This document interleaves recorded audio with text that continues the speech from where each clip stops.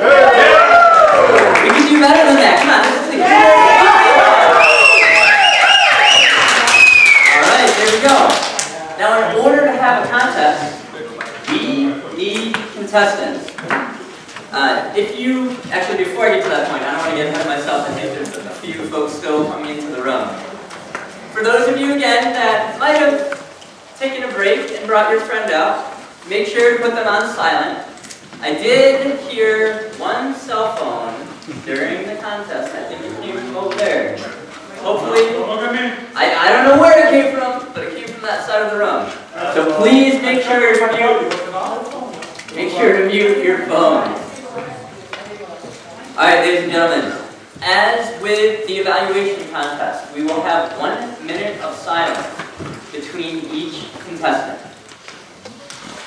In order for us to have a contest, though, here are the order of contestants. Speech contestant number one, Harry, or Hen, ah, I did it again. At least I caught myself. Henry James. Speech contestant number one, Henry James. Speech contestant number two, John Labby. Speech Labby. I'm just going to try to make an incorrect piece about each speaker. Even for everyone. John Labby.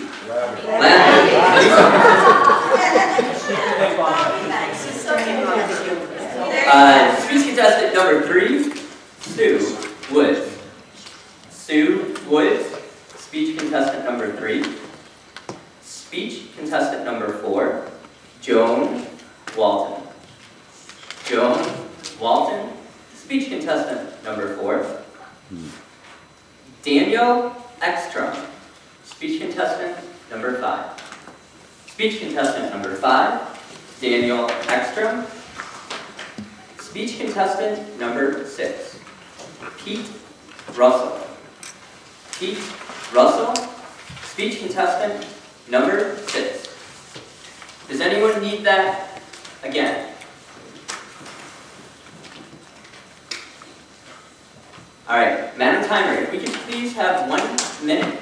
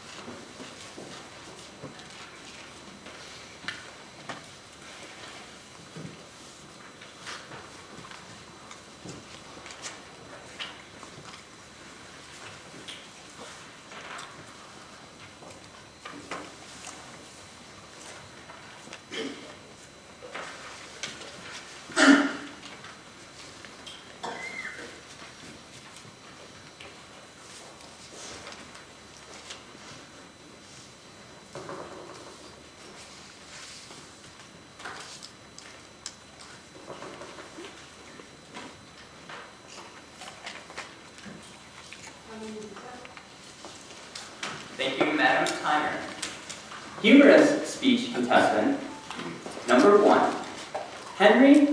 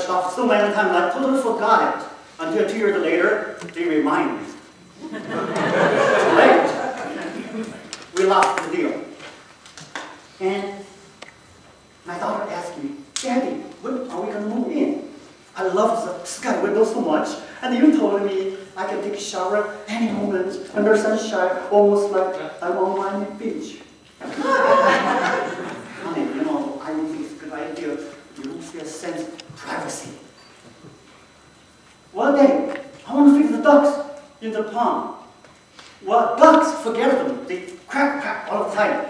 You cannot sleep. What, Daddy? Ducks only quack during the day. They sleep during the night also. Well, well, I tried everything possible to cover my fault, but could I? I knew it was because of my bad habit. Procrastination. Could I learn a lesson? Well, you will learn from the next story. summer, we went a trip to the East Coast in our van. And I was so busy. I pushed off again and again off the plane. Imagine such a long line, so many cities. Until the last night before we started off. And I crafted out of something so-called plan. And the second day, in the morning, we punched in the address for the first stop, Niagara Falls. And happily we went.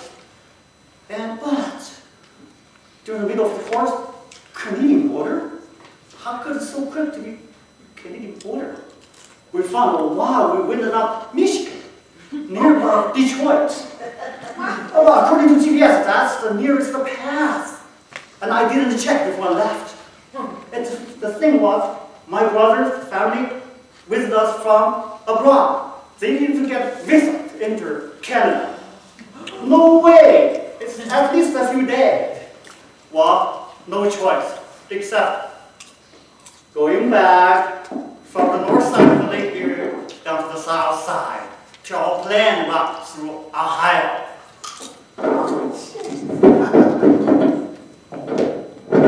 In a hurry, we, I told my wife, we didn't have time to go to the park anyway, the Niagara Falls. Let's go to the hotel in Buffalo, Sheraton. But what's the address, honey? Well, honey, I don't have it, but punch in Buffalo. And there's only one Sheraton. When we get there, we know where it is. We can find it. Just punch in Buffalo. Okay, okay, Buffalo. We went. Finally, we got there. My wife said, honey, such a small town, so tiny. I don't think it's Buffalo. And let me remind you, the last recession helped downside a lot. we wonder.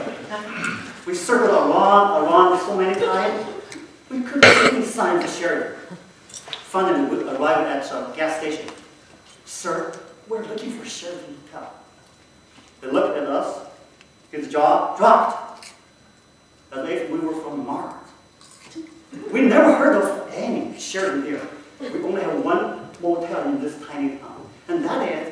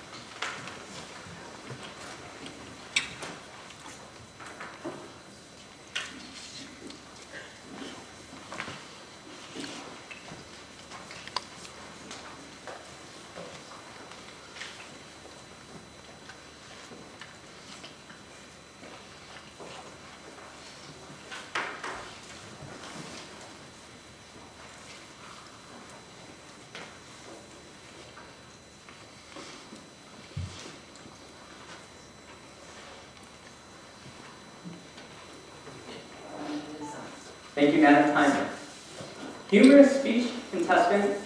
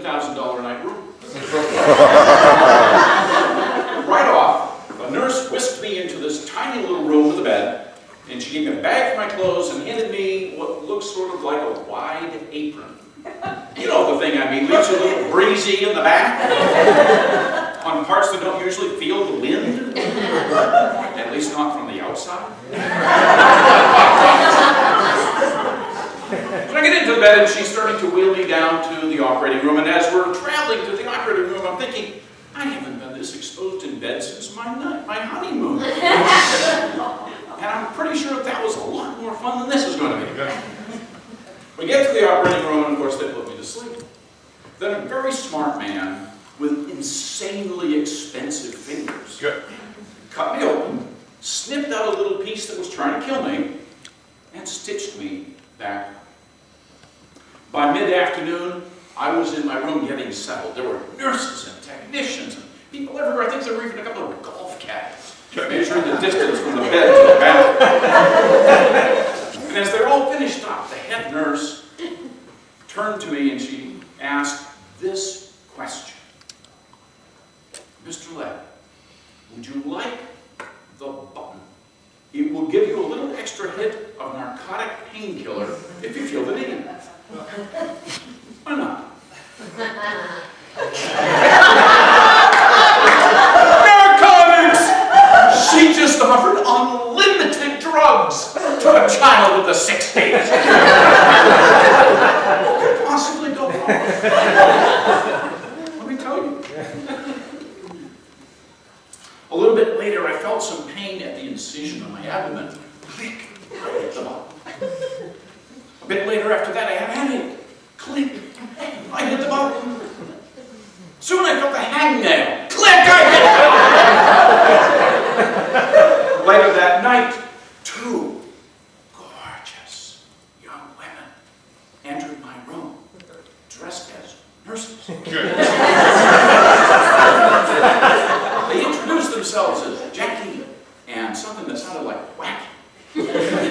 and as they were introducing themselves, I realized I was hearing music.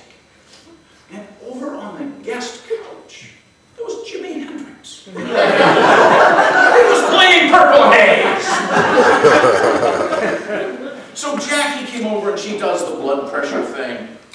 And Wacky's at the computer. I don't know, checking Facebook or Instagram. then he finished, and they both came over next to my bed, and they asked this question.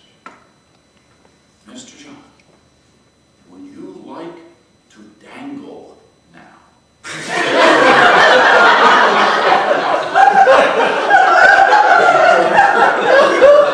This were a movie, this is where we would switch into slow motion.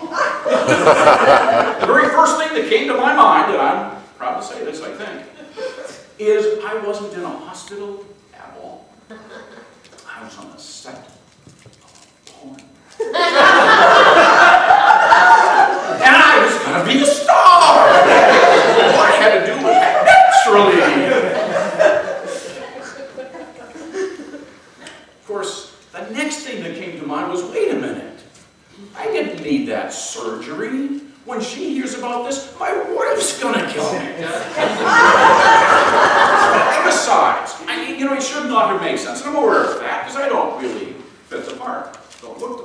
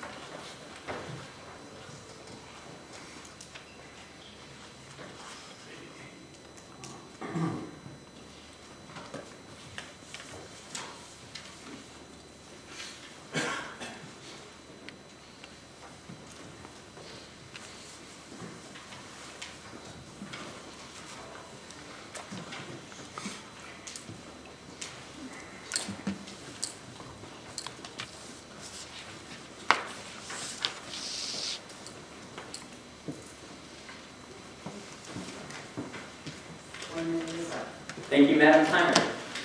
Contestant number three, Sue Wood. What's in a name? What's in a name? Contestant number three, Sue Wood.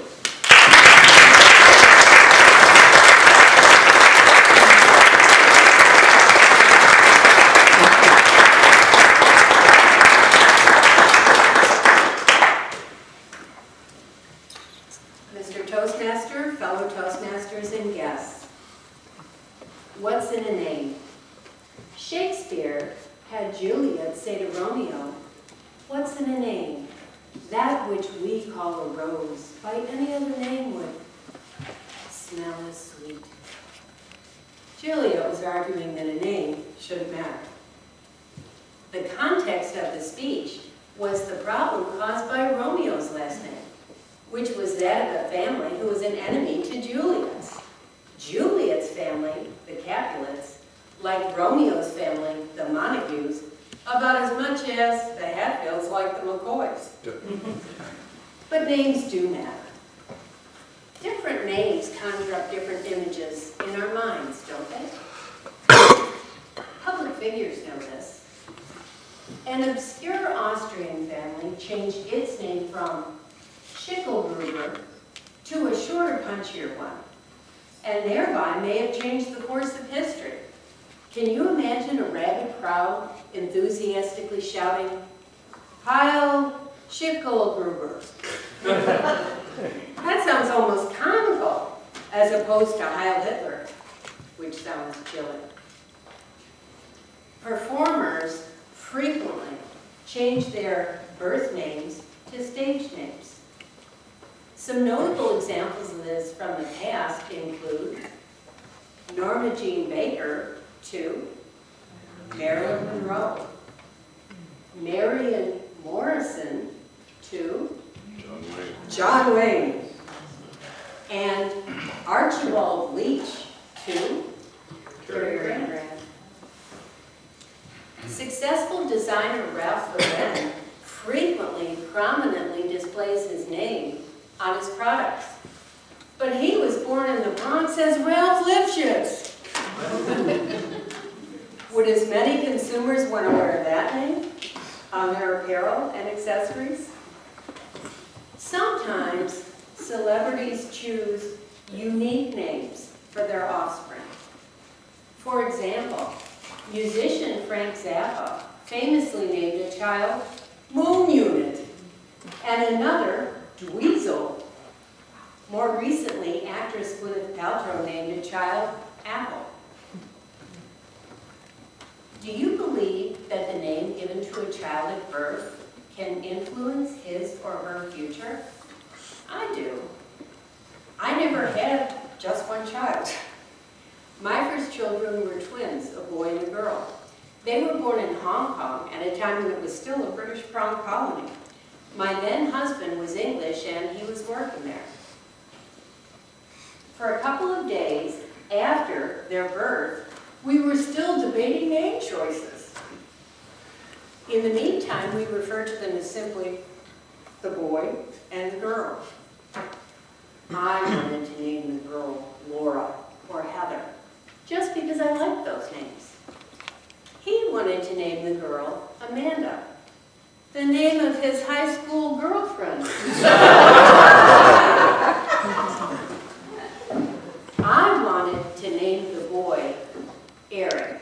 But he refused because that was the name of his coworker who he really disliked. He wanted to name the boy Barnabas. Barnabas! what would we call this child for short? Bar? Bus? Barbie? This was at a time when a certain smart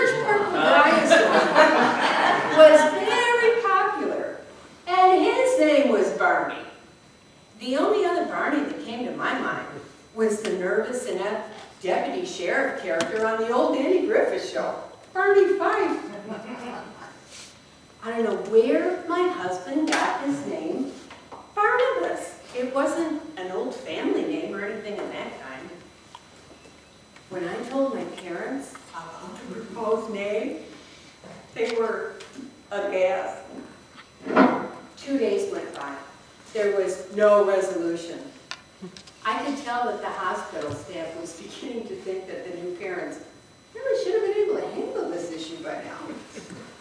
They needed the information in order to complete the birth certificate. Ultimately, I decided to attempt negotiation.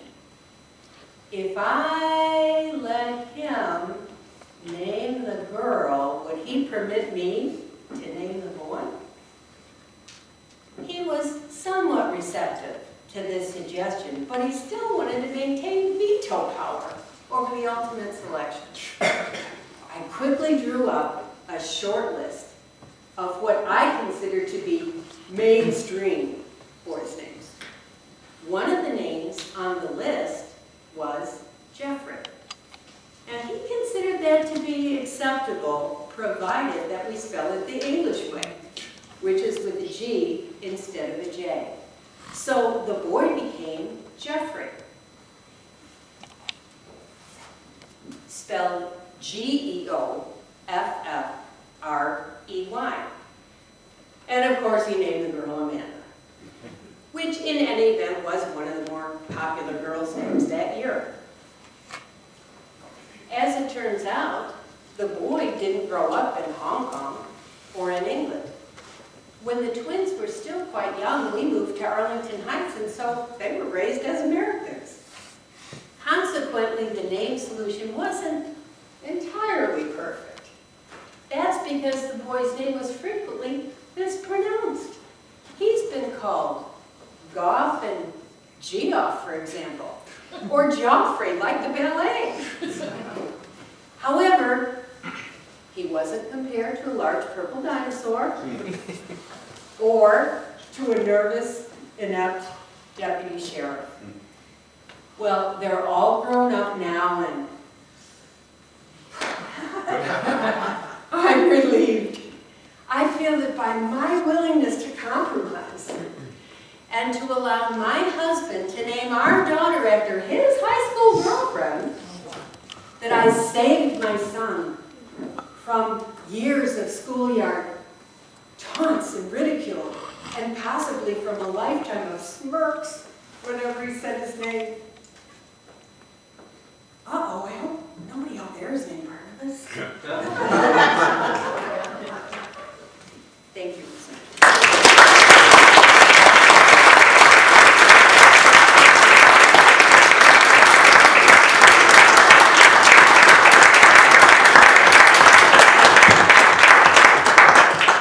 We could have one minute of silence for the judges to mark their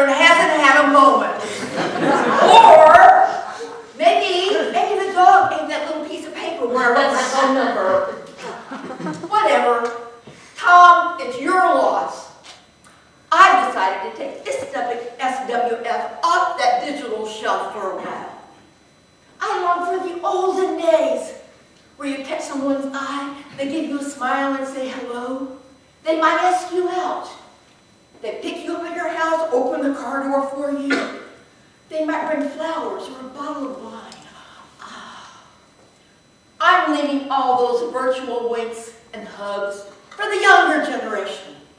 And I'm moving on. Oh, wait a minute. I think my phone's ringing.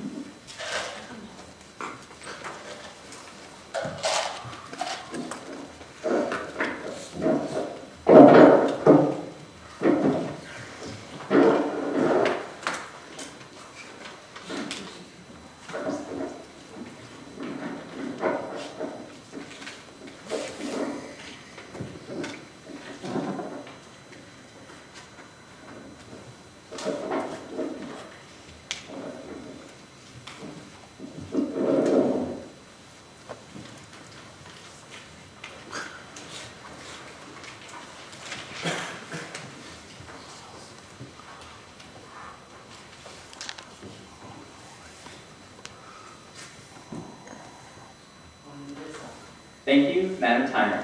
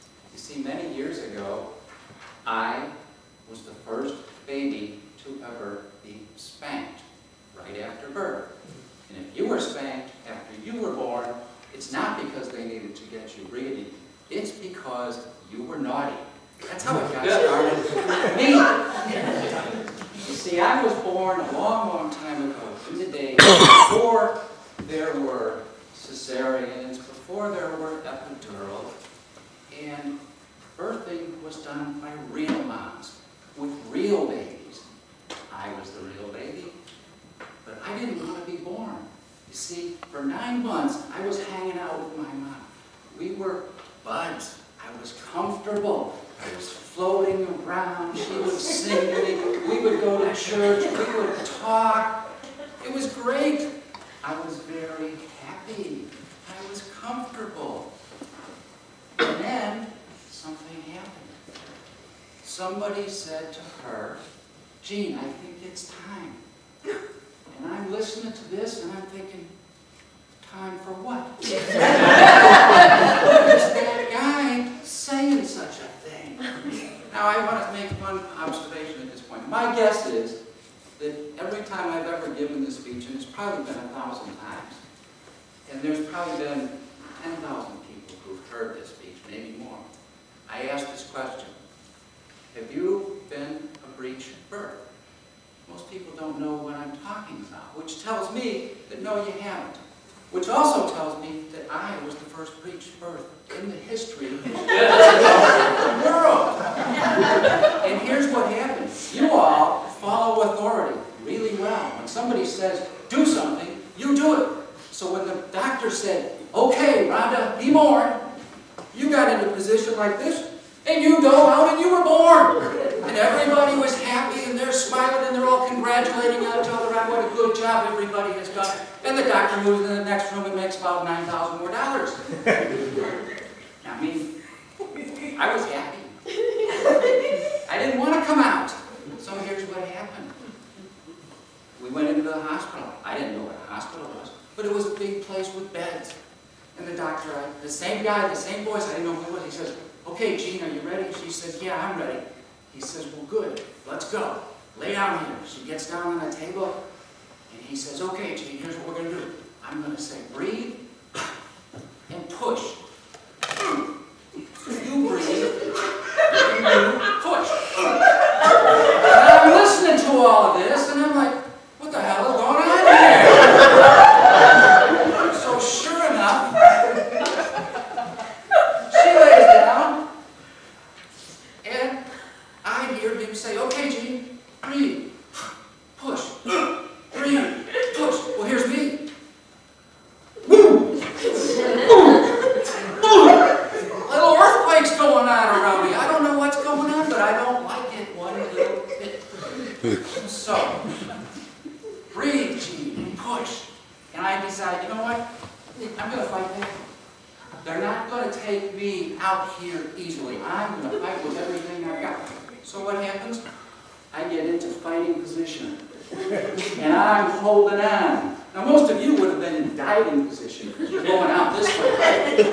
I mean, I grab onto anything I can grab.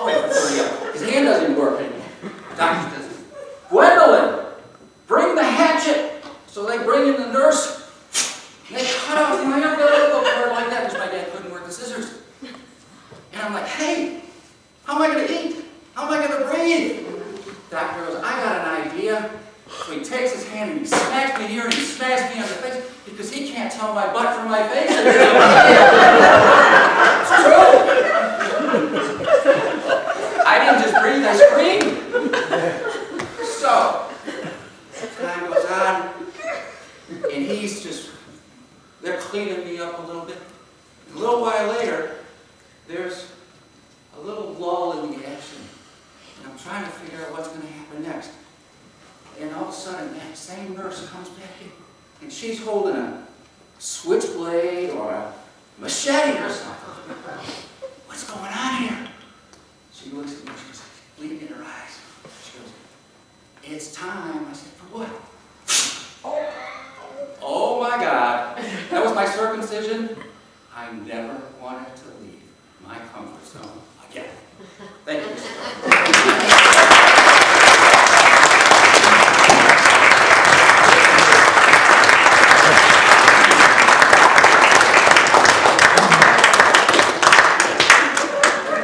We can have one minute of silence while the judges mark their ballots. I know it's hard. One minute.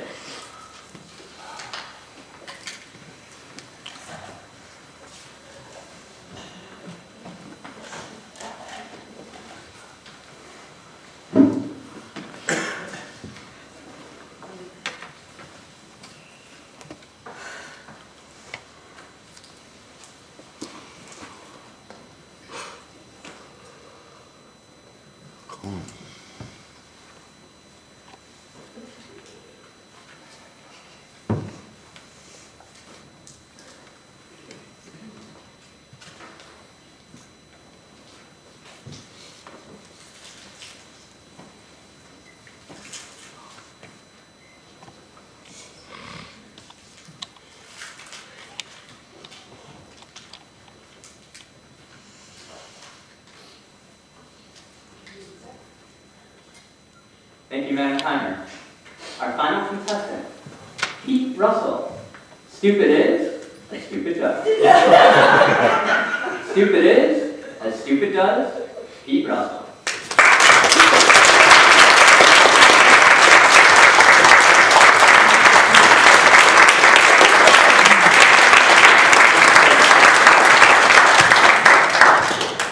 fellow Toastmaster, honored guest and dignitaries. Twenty plus years ago, it was a Friday night, little after two, and the self-proclaimed prince of Lincoln Park was driving home to Oak Park. My normal route was west on Fullerton Avenue. What I didn't understand as I approached Southport Avenue, there was a stop sign, when just block further up is a red light. Why should I come to a complete stop here? So at two o'clock in the morning, I'm driving. I look. I don't see the law. Hollywood. Right through. Keep driving. All of a sudden, I see flashing blue lights. Well, these cops are really after somebody. I better pull over. Look, a spot right here. Pull over and expecting them to drive right by. Uh-oh. They're in. Me? Yes, you. So I get prepared, roll the window down, reach in my pocket, I pull out my wallet, I have my driver's license. Watch the officer get out of the car, and she's a female, and she's young, and she's attractive. Oh, Prince of Lincoln Park. He's gonna throw out some charm, talking his way out of this town. She approaches the car, she has to see my driver's license, and I said, yes, ma'am. And by the way, I just want to let you know, the best thing that ever happened to that uniform was you. oh no, the charm was out of gas that night. Wasn't him. She walks back to the squad car. There's another cop in the car. They're on the computer, checking my driver's license. Next thing you know, they both exit the car. She goes to the trunk of her car, and the other officer comes up to mine and asks me to step out of the car. Mr. Russell, I need you to stand against the car. What seems to be the problem, officer? Just need you to stand against the car. Hey, this isn't good. See, 2.30 in the morning, kind of indulge in some alcoholic beverages. This could be ugly. So what do I do? I get out of the car, And I look at him, it's Officer Piotrowski. And after his name, T. Dot, O. Dot. I know what that means. Training officer, I got a chance. The wheels are turning, the heart is racing, the adrenaline is pumping. I gotta come up with something.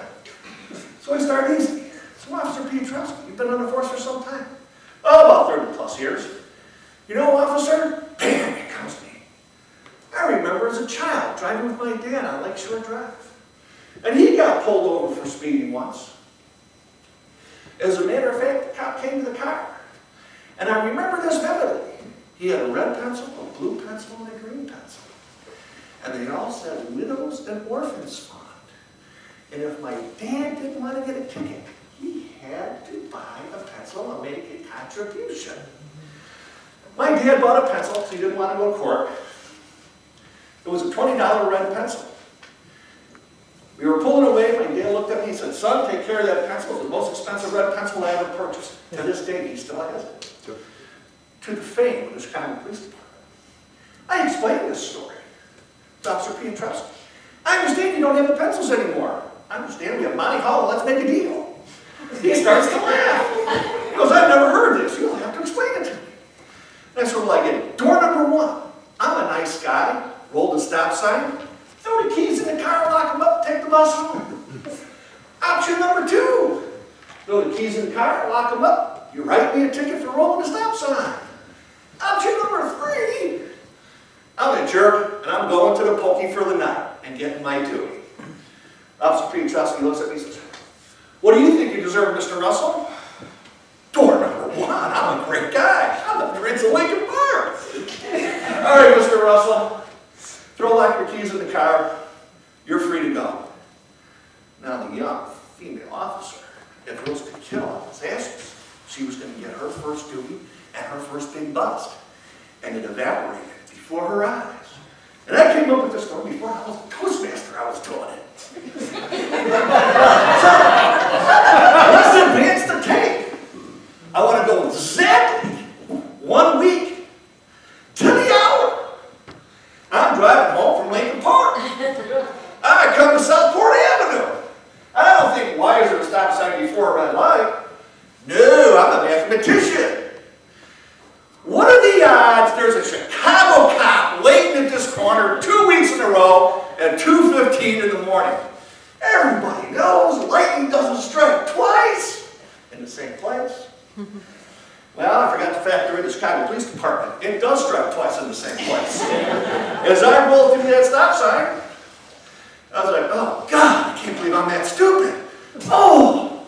And I look over. There's the same spot I had last week. Somebody trying to tell me something? I pull right over, they get behind me. Up comes the officer. I was hoping for an Officer Espinosa to get a second chance for a date. Not my luck. I got the Tasmanian devil. Handed my driver's license. Officer walked away. Both cops I in the car. The other officer goes to the truck. Starting to get the DUI stuff. And I was with Officer O'Malley. Thinking this is good. Once again, it says T.O. I'm on a roll. I go through the story. I'm halfway through the story. O'Malley's got his hand up. His hand's on his... He's laughing. He's like this. So I got through the whole thing. I said, Officer O'Malley, door number one, door number two, number three. He says, what do you think here? Take door number one. He's laughing so. He goes, all right, Mr. Russell, lock your keys in the car. Close the door, I'm ready to go. I'm off. Two weeks in a row. Stupid is it, stupid does. Can't be that lucky. Well, the officers are writing up their report. Officer O'Malley looks at me. You know that kind of thing. Yes, Officer O'Malley. Says, you know, we talk in the locker room after shift. You don't think we tell the stories? Said, we never believed half of Piotrowski's lies, but now we have to reevaluate all the stories he told. My three takeaways that night were, one, stop drinking at midnight and drink soda pop. I did. Two, the ladies seemed to like it. That was a bonus. Number three, to this day, never take Fullerton home from Lincoln Park towards the Kennedy Expressway for any reason. This we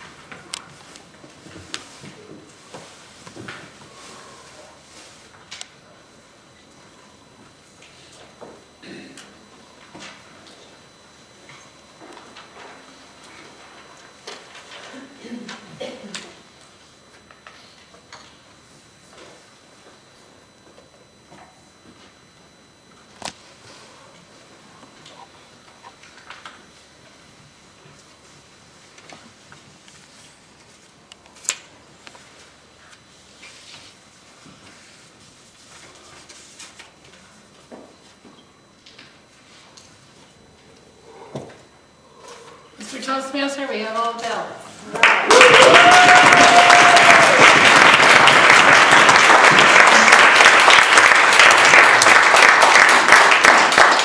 All right, ladies and gentlemen, hopefully you remember the drill after the evaluation contest. Deep breath. Contest is over, we get to relax and get to have a little bit of fun.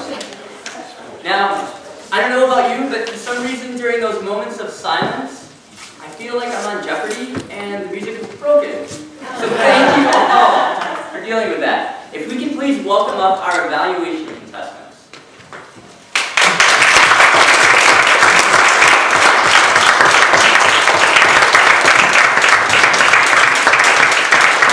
Ladies and gentlemen, please line up over here in the order that you spoke.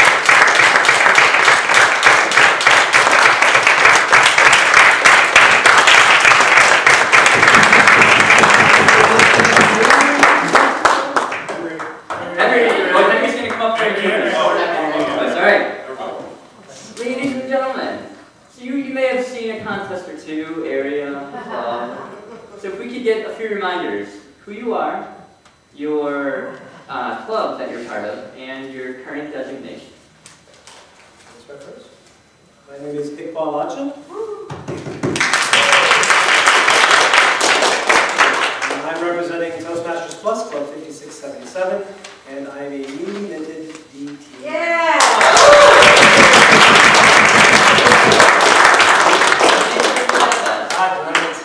So I see you're into cycling.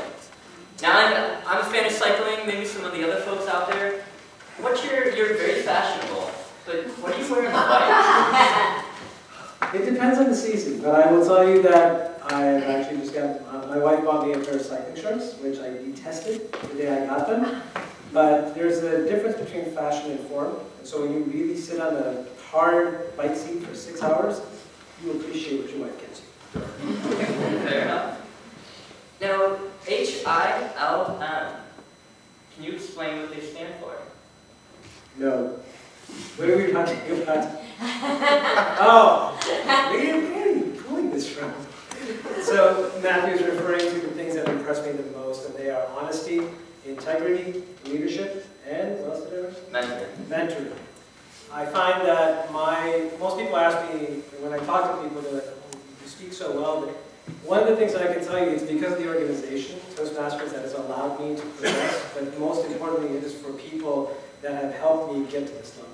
There's no way that I could learn uh, to be a good communicator or a good leader without people that have led the way for me. So for all the DTMs that are out there, John especially because he's been one of my mentors for the last three, four years, so many DTMs that I've watched do what they do so well at a contest, at a club, as a leader, it is something that has inspired me consistently. Awesome. And the last question, it seems like you're everywhere these days. I, follow you a bit on Facebook. I, I've seen you at other contests. I, do you have a clone? Is there a twin? No, I have a very forgiving and loving wife who lets me go out and do these things. So she's been very, very supportive. And one of the things, I think John asked me that question earlier, is like, God, you're everywhere. You like club on Thursday? I yes, John, I'll be there. But one of the things that I find very fascinating is number one, Toastmasters Club are so open and so inviting. Anybody can go, and you always learn. So no matter where you are in your Toastmasters journey, being your DTM today, I am still learning things. And having that chance to go and visit other clubs really reminds me of what my six or eight dollars a month is. Fantastic. Well, here is a certificate of participation. We have juggle a lot. Thank you for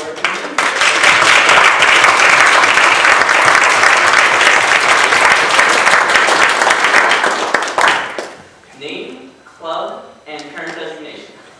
I'm Shakti Kasiramalingam. I belong to the GE Healthcare Toastmasters Club, and um, I've been with uh, Toastmasters for four years. I've completed my CC and working on my advanced. Now, it was interesting. You mentioned love during your evaluation, and some people buy into that, some people shy away from it. Where's your, what was your introspection to bring that out during the evaluation? So um, when John was giving his speech, I noticed that he definitely was gazing around the room. He was not, he was very much you know, connecting with the audience. But I felt like he did not uh, like focus his attention towards like you know, group of people. So I thought that would really make the audience feel more connected. So that's why it prompted me to say the word love. Okay. Now, is, have you spoken about that? Like, is that something you try to bring to your speeches? I try to, but I don't have a lot of experience speaking to a large audience. But when I speak in my uh, club, at a corporate club, I try to speak to every every person in the audience. Wow. Yeah. But um, we are a small group, so I think that is something. Okay. Now, I'm interested, you're an engineering major by, it looks like, a way of school. Engineering majors, I, I don't usually see them in front of a group of people. So this is, in, my title is engineering manager. Or, man, forgive me. But, I mean, still, like, yes. engineers aren't a, a group that I want to join a contest. That's not normal. Tell us a little bit more. Right, so what happened is, uh, Gina is sitting there, so I see her smiling. So basically, we didn't have a contest at our club. Uh, I got nominated to go to the area contest and I won there. So that's how I ended up coming here. So I did not have to go to two contests, just one. Okay, well, fantastic. Well, on behalf of the Northwest Division, thank you for competing today.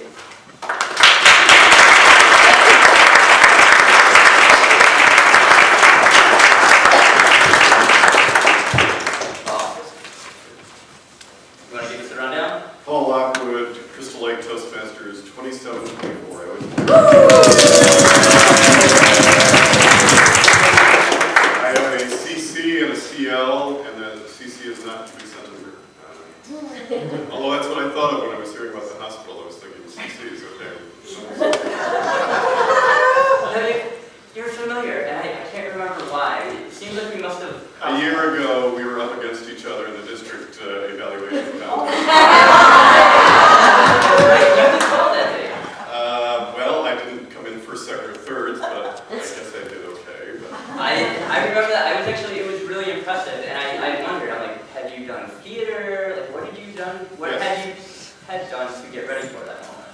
Uh, I do a lot of community theater out in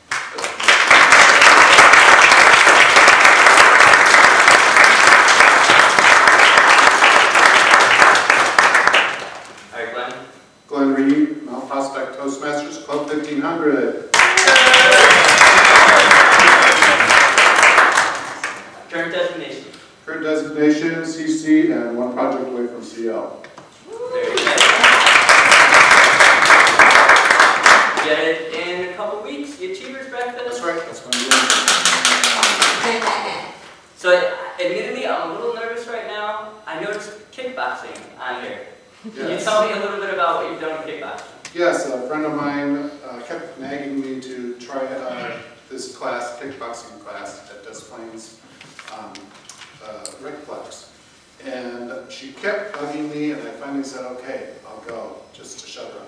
And it's really, uh, it's great, you can work at your own pace, and uh, the main thing is you try not to hurt yourself. I've only gotten hit a few times, but it's, it's a lot of fun, it's great exercise, so I encourage everybody to try it out. And it, it looks like you may take hits in another area of your life because you're also an entrepreneur. That's right. Yep. I uh, started my own business about uh, five years ago. So um, it's Green CPA. If you need any accounting or tax work, talk to me. And you know, it's been a challenge with the economy, but I think it's great to be your own boss. It's it's much better than being cubicized and like trying the you know corporate world as as Jerry. I, I'd much rather be my own boss. Well, and the final thing, you've competed now. What advice would you give to the future contestants out here? I think it's great. Definitely try it out. It's it's uh, a challenge. It's exciting. It's it's a great way to grow as a speaker, and I really enjoy it. All right, Glenn, thank you.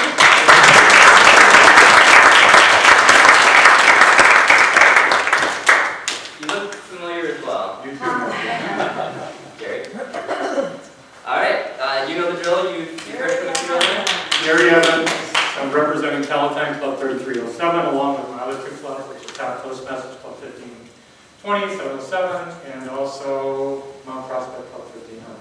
Wow. This is- Now, I'm wondering, is there any competition between you and Iqbal about how many clubs you can get through? No, actually, I think probably between Iqbal, between probably Prez, they probably hold the district record for the number of clubs visited. Fair enough.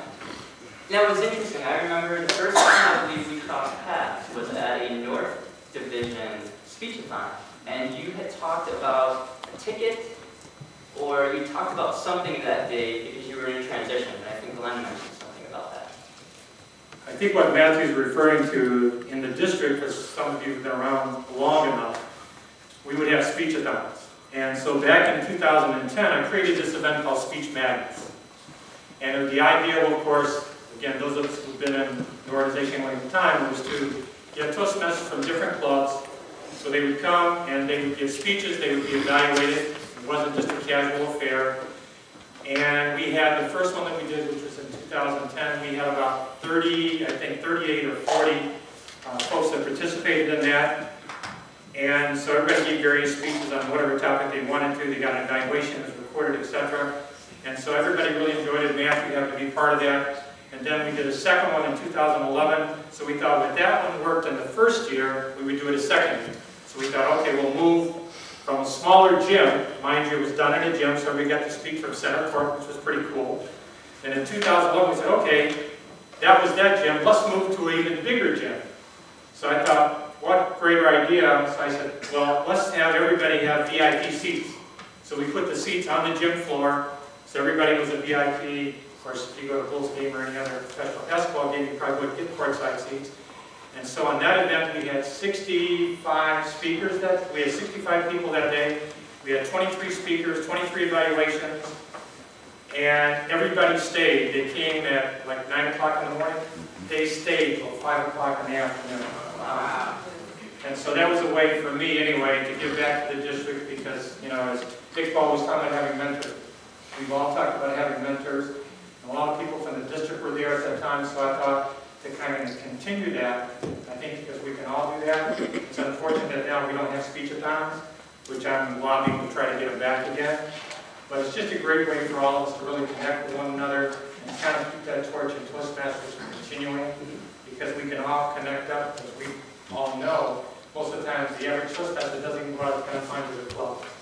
So it's an avenue for them to practice speaking in a different venue, have fun with it, and so that kind of became the ticket as you would refer to. Cool. Well, thank you again for your participation today.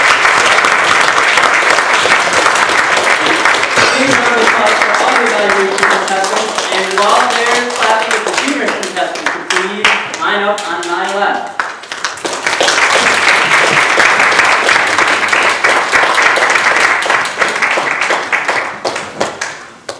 Henry, let's come on up.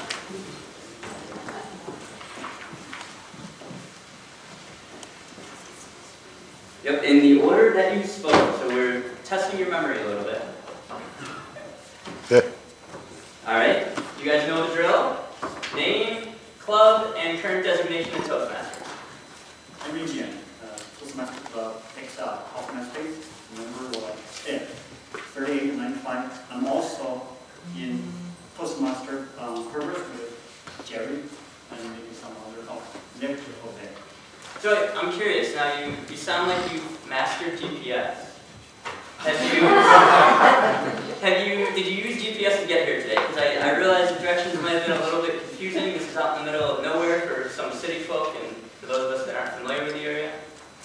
I don't have any sense of direction. Even I've been living in Hoffman for 17 years, I still use GPS. Fair enough. I rely heavily, I always trust, but now I'm kind of hesitant. It's interesting, I, I'm curious about your perspective because I remember a few years ago that I saw you as a target speaker in a contest. Oh, yes, or, I don't remember which division, yeah. I, I think it was either north or northeast, but what was the difference between being a target speaker and then being an evaluation contestant as well as a concurrent contestant? With that, I can experience every aspect of uh, a contest, from uh, being a speaker, a target speaker, and then when I sit there and evaluate the speaker, I know what evaluator they're looking for. That can improve my own speech in the future. And for humorous speech, of course, life, we all like humorous, like lubricant for a machine. It can help you to run the machine smoothly. Well, great. Well, on that note, I'd like to present you with the certificate of participation.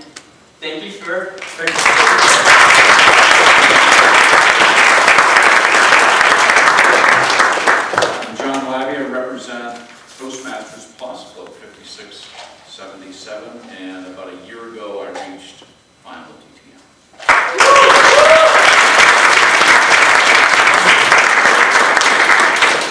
So you mentioned drugs, you mentioned... and then there's this interesting story about your wife. Could you tell me a little bit about how you talked her into marrying you?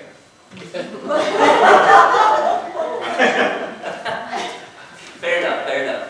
Uh, I also see that you're into golf and woodworking. Yes, Have you ever made your own golf balls? that would be stupid. All I can, professional clubs for me, thank you very much. Uh, what's your handicap? My golf. Now, I also see that you're a speech coach and you're self-employed. How, how does it all work out for you? Not as well as I'd like. There's always room for more clients. All right, well, on that note, John.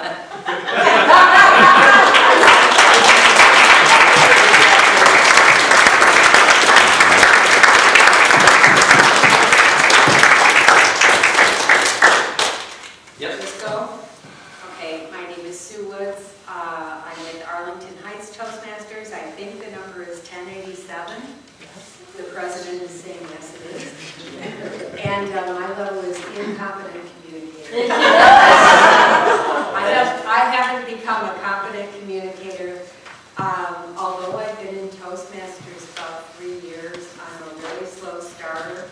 I've given about five speeches at my club. You're doing great. I can, I can speak from others' experience and talking to many people over many years. Speech contests are very challenging, and the fact that you're up here, I know people that have been in this 10 years, and they wouldn't step foot up here. So you're definitely ahead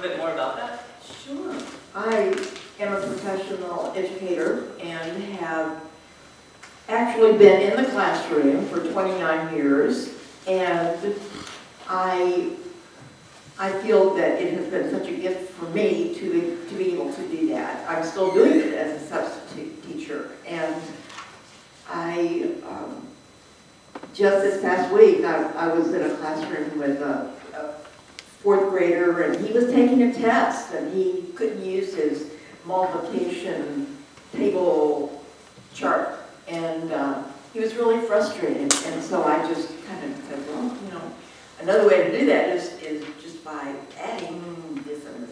Anyway, you finish. Thank you. It's those moments that are just, just stay with you forever.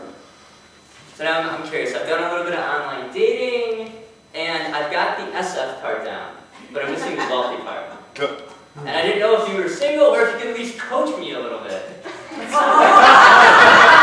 I don't think he wanted to coach you.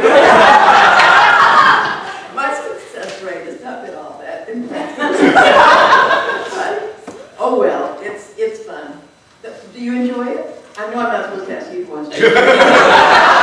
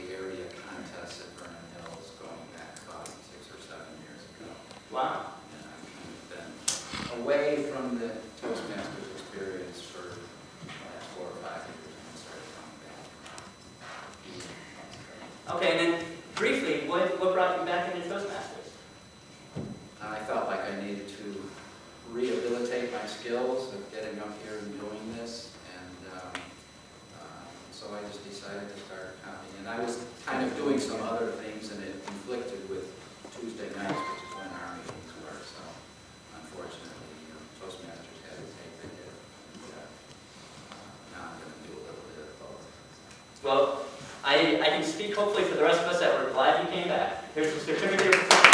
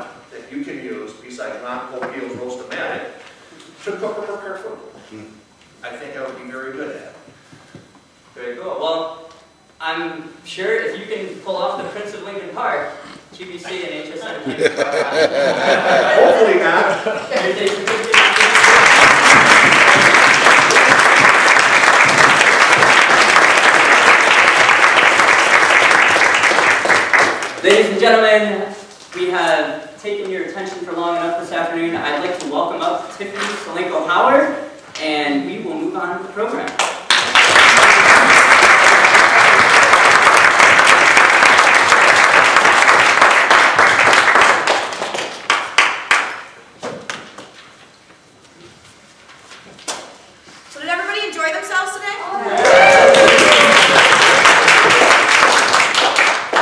Matthew asked if I needed the mic, and I think I'm pretty loud. If everybody can hear me, I'm not going to use it. What?